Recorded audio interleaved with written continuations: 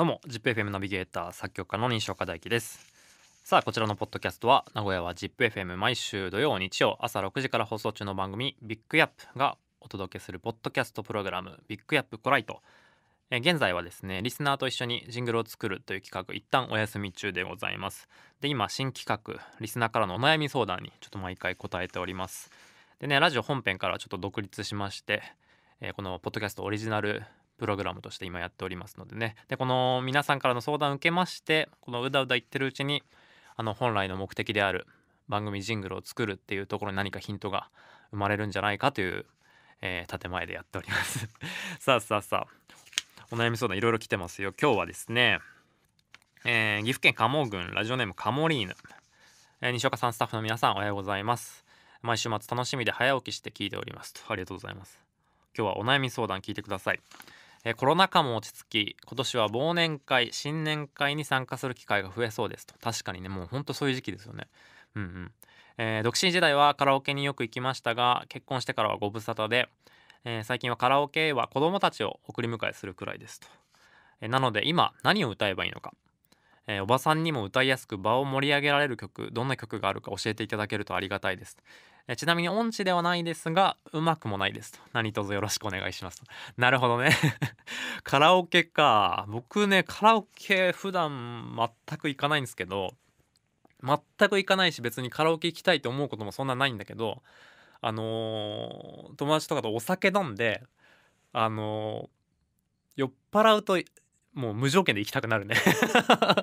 本当に俺もう帰りたくなくなってカラオケ行こう。カラオケ行こうって言ってるの。そう。ほんで大体でもあれなんだよね。お酒飲んでから行くからもうせいぜい歌えて2曲ね。その後もう喉カラッカラになって全然歌えないみたいなパターンなんだけど。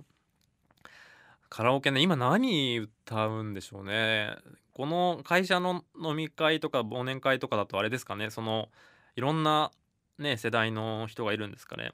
でもねもう今時というかもうもうブレイコーでねなんか変にこう上司に合わせた選曲とかしなくていいと思うんで。ねえねえ。それねそれこそなんか若手の社員になんかあの先輩かっこいいって思われるぐらいの感じがいいんじゃないかなと思うんだけど何がいいんだろうね。ちなみに僕が毎回カラオケで歌うのはあの前ラジオでも話したことありますけどえーと、オリジナルラブの接吻と あとね、えーと、イエローモンキーのラブラブショー。そう一応ちゃんとあの盛り上げなきゃいけないかなって時はラブラブショーを歌うようにした そうだからそれもやっぱ結局あれだね。おじさんとおじさんとって言ったらあれだけどその割と上の世代の人と行くとまあちょっとそこに合わせてるとこあんのかな。うん。そうそう。やっぱねあのラブラブショーあそうかこれ歌っちゃいけないんだかポッドキャスト。そうか。そうそう。あのねみんなで歌えるとことかいいかなと思うんですけど。あとはもしかその歌がねそんなめちゃくちゃうまいわけじゃないってことであればあれだよね。その盛り上げにもう完全に振る。全振りする。あの愛の手とか あっちの方に。あのー、この間 ZIP の30周年のあのパーティーがあって、えー、2次会3次会とあったんですけどえっ、ー、と ZIPFM のナビゲーターの若林しおんくんと、えっと、なんかカラオケもできるバーみたいなところにみんなで行ったんですけどやっぱねもうしおんくんほんともう徹してるもん。あの本当にもういわゆるあのもう本当にああいうもうザザっていう愛の手もう本当になんとかなんとか見てみたいみたいなことしおんくんやってるからね。そう。すげえなと思って本当にねそうやっぱそっちに徹するっていうのも一個ありですよね。あとはもう本当に序盤で歌っちゃうっていうね。なんかやっぱあの人歌ってないじゃんっていうとなんかちょっと気使って回ってきちゃうからもうしょしょっぱなで歌ってあの歌あの人はもう歌ったっていう印象を作っとくっていうね。うん。あとはもう本当に歌のパワーですよね。僕が今なんとなく頭に浮かんでるのは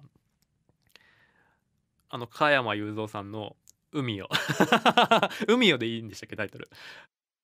う海その愛。そうね。そうそうそう。海その愛。そうタイトルのでかさね。